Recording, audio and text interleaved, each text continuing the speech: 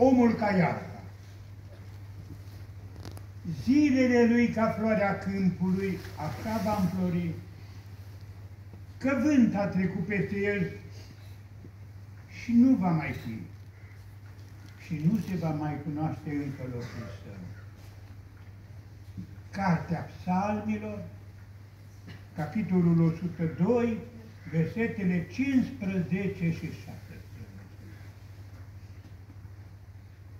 Precum eu și precum ceriți, părinte. Mult îndureată familie. Și iubiți frați și surori. Motivele pentru care ne aflăm la această slujbă de înmormântare sunt multe.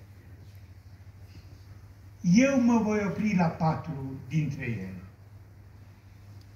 Întâi de toate, în virtutea faptului că suntem creștini. Noi credem în puterea rugăciunilor făcute și pentru vii și pentru morți. Și primul motiv pentru care suntem aici e acela că am venit să ne rugăm pentru odihna sufletului profesorului Nicolae Miu. Al doilea motiv pentru care ne găsim aici este acela ca prin slabele noastre cuvinte. Să aducem cuvânt de mângâiere, de îmbărbătare, de condoleanțe familiei îndurerate. Și dacă este slab cuvântul nostru, e puternic cuvântul lui Dumnezeu. Atunci când murise la Domnul Iisus Hristos pe surorile Lui le-a îmbărbătat cu aceste cuvinte. Amin, amin, zic vouă, cel ce crede în mine, chiar dacă ar muri, va trăi. Și cel ce trăiește credând în mine, nu mai moare niciodată. Apoi, în al treilea rând, am venit să subliniem misiunea de excepție pe care a făcut-o profesorul Nicolae Miu. Înțeleptul Iisus Fiul lui Ciran. În cartea sa. În capitolul 28. Primele versete ne zice așa cinstește pe doctor cu cinstea ce îi se cuvine, că pe el a făcut Dumnezeu. Că de la cel prea înalt este leacul și de la rege va fi lauda. Câtă mânghiere n-a adus profesorul Nicolae Miu celor întristați, celor cu probleme, copiilor străini, și cu siguranță, fiind și creștin, și-a adus aminte de ce a spus la un moment dat Domnul Hristos când l-au întrebat cei din jur, cum va arăta un cetățean al împărăției cerurilor? Și el a răspuns așa, Mântuitorul, dacă nu veți fi ca pruncii, nu veți intra în împărăția cerurilor. I-a fost milă de tot și de mari și de mici. I-a ajutat pe toți, și pe cei mici și pe cei mari. Și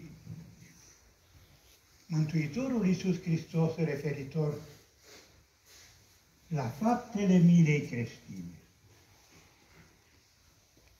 În Evanghelia după Matei, în capitolul 25, ne relatează faptul că atunci când El va reveni și toți morții vom învia, ne va împărți în două și va zice celor de-a dreapta, veniți binecuvântați Părintelui meu, că flămând am fost și mi-a dat să mănânc, însetat am fost și mi-a dat să beau, străin am fost și m-ați primit, gol am fost și m-ați îmbrăcat, bolnav am fost bolnav am fost și m-a cercetat. În clinică am fost să la mine. Și vor întreba drept ce, Doamne, când te-am văzut în aceste ipostaze și ți-am slujit ție, ori de câte ori l-a slujit, pe cel mai neînsemnat om, pe mine m-a slujit. Așa că soarta noastră eternă atârnă de faptul în care punem în practică faptele milei creștine. Conjudețeanul nostru, Ioan Alexandru, pe care mult îl prețuiesc, a murit prea tânăr. A scris o poezie epitaf. Și epitaful lui zice așa. Pentru că s-a uitat cum el la un căluț novit în bătări. Pentru că unei bătrâne ce dorea să se arunce în lac fugind de la azil, i-a întins o mână de salvare. Pentru că în santuarul inimii sale l-a iertat pe cel mai aprig vrăjmaș. Pentru toate acestea și mult mai mari decât acestea pe care nimeni nu le-a știut pentru că le făptuise la nevedere, el n-a murit, ci mai doarme până la mie. Noi așa credem că profesorul Nicolae Miu n-a murit, ci numai doarme până la mie. Al patrulea motiv pentru care suntem aici și care de data aceasta nu-l ajută pe el, ci ne ajută pe noi. Al patrulea motiv pentru care suntem aici este acela că trebuie să medităm foarte serios la efemeritatea vieții noastre.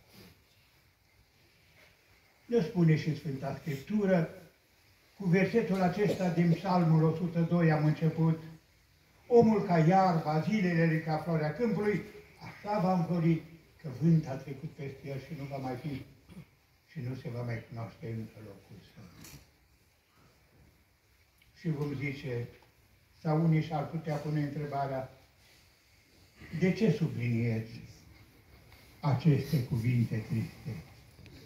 Pentru că ele ne fac înțelepți ca puțin cât mai trăim, să trăim foarte frumos. Pentru că modul în care trăim are repercursiuni veșnice.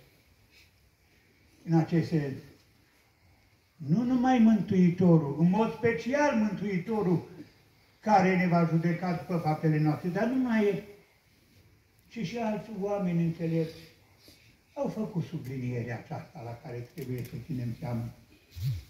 Lucian Blaga, filozoful nostru, adresându-se lui Dumnezeu, zicea, Doamne, oprește trecerea. Știu că unde nu e moarte, nu e nici iubire, dar oprește ceasornicul cu care ne măsori destrămare. Din păcate, ceasornicul nu poate fi oprit. Ne rămâne atât când ne-a zis Sfântul Pavel, răscumpărat vremea că zilele se rele. Acum un alt scriitor, poet duhovnicesc, la care foarte mult îi știți numele Traian Într-o poezioară compară viața noastră cu o călătorie cu tren. E scurtă călătoria. În tren se urcă oamenii și socializează, și nu observă că în fiecare gară coboară câte cineva. Și se termină așa poezia. Vine odată însă vremea să ne coborâm și noi. Ce n-am dat atunci o clipă să ne întoarcem înapoi. Dar privind în urmă timp, plângem vremea ce a trecut, sună în gara veșniciei, am trăit și n-am medităm la toate acestea, acum când am venit, să ne rugăm pentru odigna sufletului profesorului Nicolae Să prezentăm familiei cuvântul nostru de prețuire și de îmbărbătare, să medităm la frumusețea misiunii pe care a făcut-o și apoi să fim și noi înțelepți cu viața câtă o mai avem.